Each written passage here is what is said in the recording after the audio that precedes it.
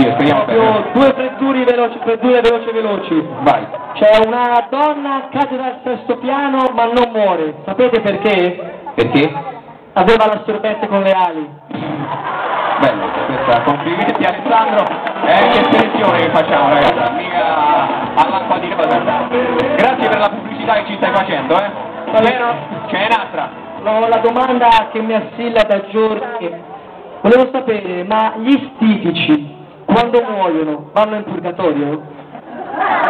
Grazie Alessandro, grazie. Questa non è una freddura, è una celata proprio. Celata, un iceberg in platea questo. Va bene, ok. No, cari Giovanni, non